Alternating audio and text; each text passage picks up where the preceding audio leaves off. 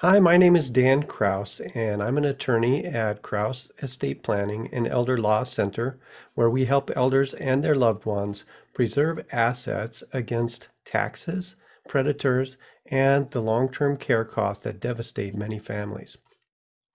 Today, I want to talk a bit about capacity or the uh, mental ability of someone to create an estate plan. Now, there's different kind of capacity, the capacity to do high level math or the capacity to be an Olympic athlete, um, etc. But there's one specific type of capacity that uh, my clients are very concerned about often, and uh, it's very important in my field, and that is the capacity to create an estate plan. It's well established that capacity to create a will is the same as the capacity to do other estate planning. So that would be the same as the capacity to create a power of attorney, to create a trust, um, to create a healthcare document, etc. And many people, excuse me, have a, um, a misunderstanding of what the capacity is. The capacity to create a, an estate plan is what I consider to be a fairly low capacity. So you don't have to be completely with it. you can have gone down a little bit of the slope that many of us go down towards the end of life um, and still have the capacity to do an estate plan.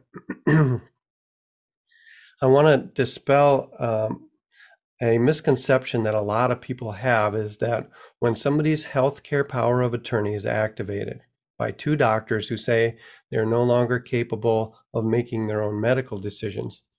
This does not mean that a person is necessarily unable to do estate planning. So I want to repeat that. Just because your power of attorney for healthcare has been activated by two doctors, it does not necessarily mean that you are incapable now of legally creating any more estate planning documents because the standard of capacity is different for both of those. Now, let's talk about the standard of capacity for somebody to create an estate plan. You really need to only know two things. Um, one thing is you need to know who is your family. So, are you married? Is your spouse alive or dead? Uh, who, do you have children? Are any of them deceased? Um, what are their names? These kind of things. Um, fairly basic, although some people eventually lose the ability to know those things. The second thing that you need to know in order to have capacity is what are your assets? So you have to know what you own. Now, if you owned a farm 50 years ago and you believe you still own that farm, then maybe you don't have capacity. But if you have an idea about what your real estate assets are, what your banking assets are, what your investment assets are, um, and any other major assets. Uh, if you if you know what those are, even if you only know it some days for a half an hour, uh, some days are good days, some days are bad days. As long as when you are creating this document, as long as when you're making the decision and signing a document, like a power of attorney, a will, a trust, then as long as you have that capacity at that time, it's a legally signed document. Now, this is something that is argued about quite a bit after someone passes away, whether they had capacity or not, and it's it can be just a big mess.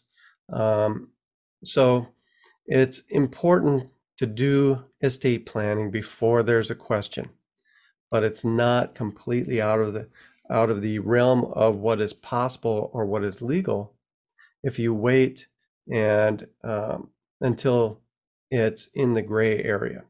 It's risky, but um, estate planning is better than no estate planning. So that's a little bit about capacity.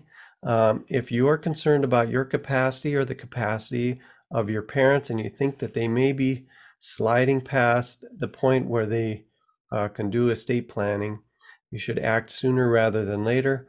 Call a good estate planner. And if you're not sure that you know a good estate planner, you can give our office a call 608 268 5751. Thank you very much.